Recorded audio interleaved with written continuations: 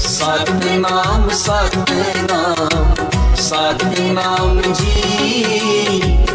ਵਾਹਿਗੁਰੂ ਵਾਹਿਗੁਰੂ ਵਾਹਿਗੁਰੂ ਜੀ। ਵਾਹਿਗੁਰੂ ਜੀ ਕਾ ਖਾਲਸਾ, ਸ੍ਰੀ ਵਾਹਿਗੁਰੂ ਜੀ ਕੀ ਫਤਿਹ ਜੀ।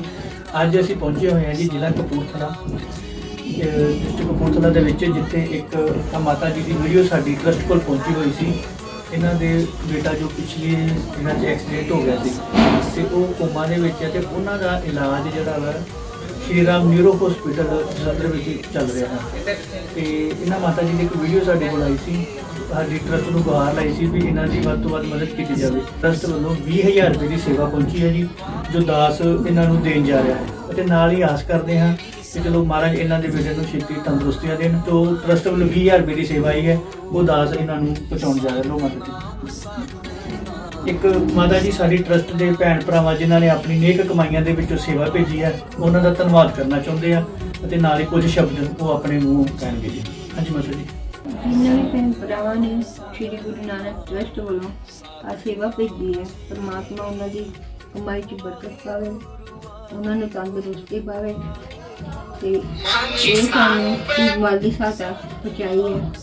ਤੇ ਗਾਂ ਵੀ ਅਸੀਂ ਆਸ ਕਰਦੇ ਹਾਂ ਕਿ ਜਿੰਨੀ ਵੱਧ ਤੋਂ ਵੱਧ ਮਾਲੀ ਸਹਾਇਤਾ ਹੋ ਸਕੇ। ਮੇਰੇ ਬੇਟੇ ਨੇ ਕੀਤੀ ਹੈ।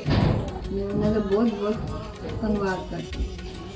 ਇਹ ਜੀ ਮ- ਮਾਤਾ ਜੀ ਸਨ ਜਿਹੜੇ ਵੀਰ ਐਕਸੀਡੈਂਟ ਹੋਇਆ ਵਾ ਨਾਲ ਉਹਨਾਂ ਦੇ ਸਿਸਟਰ ਨੇ ਉਹ ਵੀ ਕੁਝ ਸਾਡੀ ਟਰਸਟ ਦੇ ਦੋ ਸ਼ਬਦ ਕਹਿਣਾ ਚਾਹੁੰਦੇ ਨੇ। ਗੁਰੂ ਨਾਨਕ ਦੇਵ ਟਰਸਟ ਦਾ ਧੰਨਵਾਦ ਕਰਦੇ ਹਾਂ ਜਿਨ੍ਹਾਂ ਨੇ ਮੇਰੇ ਭਰਾ ਦੇ ਇਲਾਜ ਦੇ ਲਈ ਸਹਾਇਤਾ ਕੀਤੀ ਆ ਤੇ ਮੈਂ ਉਹਨਾਂ ਦਾ ਵੀ ਧੰਨਵਾਦ ਕਰਦੀ ਆ ਜਿਨ੍ਹਾਂ ਨੇ ਆਪਣੀ ਕਮਾਈ ਵਿੱਚੋਂ ਸਾਨੂੰ ਹੈਲਪ ਕੀਤੀ ਆ। ਅਸੀਂ ਚਾਹੁੰਦੇ ਆ ਕਿ ਉਹਨਾਂ ਦੀ ਕਮਾਈ ਵਿੱਚ ਹੋਰ ਬਰਕਤ ਹੋਵੇ ਤੇ ਉਹ ਹੱਸਦੇ ਵਸਦੇ ਰਹਿਣ ਆਪਣੇ ਪਰਿਵਾਰ ਦੇ ਵਿੱਚ। ਸੋ ਟਰਸਟ ਵੱਲੋਂ ਵੀ ਇਹ ਅਰਦਾਸ ਹੈ ਬੇਨਤੀ ਹੈ ਕਿ ਇਹਨਾਂ ਦਾ ਬੇਟਾ ਠੀਕ ਹੋਵੇ ਅਤੇ ਆਪਣੇ ਪਰਿਵਾਰ ਵਿੱਚ ਜੀਵੇ ਵਾਹਿਗੁਰੂ ਜੀ ਕਾ ਖਾਲਸਾ ਸ੍ਰੀ ਵਾਹਿਗੁਰੂ ਜੀ ਕੀ ਫਤਿਹ। ਵਾਹਿਗੁਰੂ ਵਾਹਿਗੁਰੂ।